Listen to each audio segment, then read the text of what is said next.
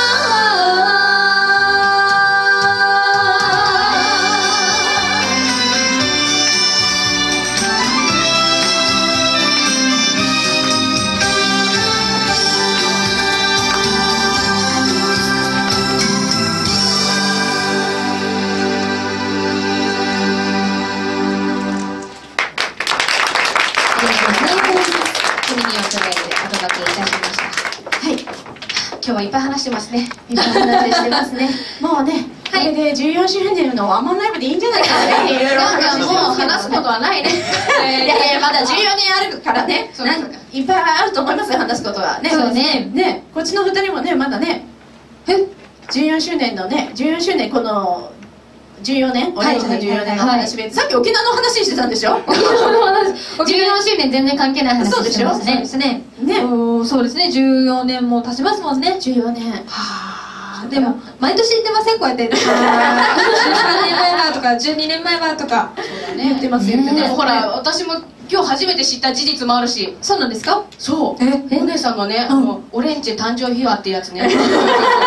初めて聞いたもん。初めてっていうかもう2回目かもしれないよ。覚えてない？さあ結構忘れっぽいもんね。いやいいじゃない。みんなねいつでも新鮮な気持ちで聞いてて。じゃあ忘れようもうね。物 物はいいよ物はいいよね聞いてない人もねいるかもしれませんね。またね懐かしい話もしながら。14周年はですね、えーまあそういうね懐かしい曲ももちろんありますし、はい。えーオレンジェ14周年クイズみたいのもね皆さんで参加できるクイズなんかを考えております。クイズいろいろ考えてます、まあ、ねえ例えばですけど、うんオレンジのオリジナル曲でイントロドン的なとか、あイントロドンね。ね。なるほどね。イントロはさこう、結構わかりそうじゃない？まあ確かに。ちょっとねなんとかイントロはできそうじゃない？イントロわからない。イントロよりもこう人節なんだよって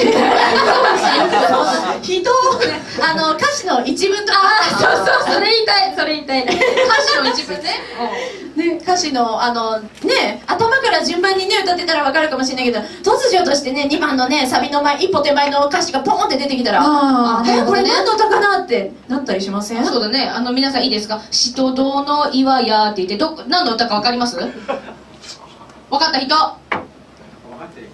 分かってない気がするってすごいじゃんおえでもみんな分かんないえそういうことしないのあんたはあのね仮にねあなたが分かってたって分かってて当たり前なんですあなたそうですよ。むしろ分かんなかったら困るんですからね分かんなかったら恥ずかしいんですあなたはあそりゃそうだね確かにちなみにちなみにちなみに何だと思います本命出てきたけど私が一番最初に買った セカンドアルバムの中にあ入ってる入ってる。入ってます。入ってます。おおすごいな。セカンドアルバムお好きなんですね。ありがとうござ1います。年来てたんだ1年聞いてらっしゃったんですか？すごい聞きましたね。ありがとうございます。私も実は今日ねさっき「殿姫伝説」がセカンドアルバムなので改めて自分で聞いてみたんですよ。セカンドアルバム。やっぱり子供だ。こっちで何あのですねこちらのこれ私聞いたって白木さんがですねセカンドラバに入った時かなじゃあ入れたっけあれ入れたっけ入れてあるよあ嘘入れたんだあれ。多分ねセカンドアルバムは2013年に発売さそうねあれシングルコレクションですからそうそれまでのねシングルコレクションだから多分入ってあると思いますのもしかしたらこっちにあの曲はどこのアルバムに入ってるでしょうって言ったら分かんないかもしれないでねえだからそういうクイズも出ますから。そういうクイズが出るすちなみに答え言ってあげて今の下との岩屋の椿姫およし。おーよかったよかった。これで間違えたらどうしよう。もえー、ちなみに今日ね セカンドアルバムを買ってくださいねぜひ入ってるんでね。はい。セカンドアルバム。さっきの「殿姫伝説」も入ってるでしょ、うん。そうそうそうそう。ね、はい。でちなみにですね、はい。これちょっと高度かなと思うんですけどもあの「釣りガール」という曲はですねはい実はあの2011年から歌い始めまして、はい。もう何回かですねレコーディングをし直している楽曲なんです、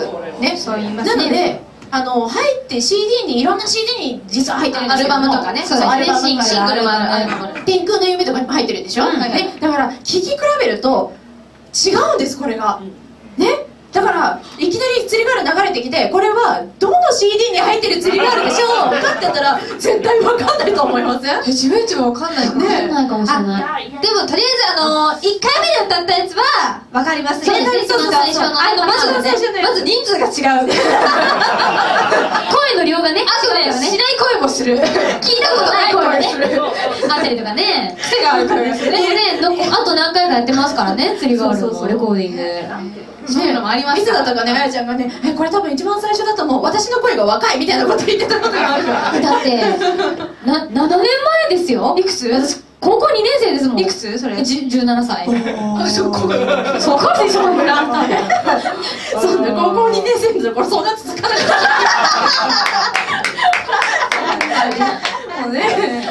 そういうことがありますねえあそういうですね、まあ、クイズね、はいはい。間に昼の部も夜の部もですね両方とも合間にあのバンド休憩と称する余興タイムをですねそうです。ねそれも楽しみにこう来てほしいねそうです。そうあので皆さんはここにいる皆さん予習をしてね。そうです。ねはいそうそう。ねもしかしたらね。ほらお集まりの皆さんはね先にこの情報をゲットしたかあら、本当だ。すごい。予習できるんですよ、もしこうなんか全問正解した人にはなんかこう賞みたいのさ俺俺んち検定1級みたいな。いいじゃない一級でいいんですかどこで使うのそれ。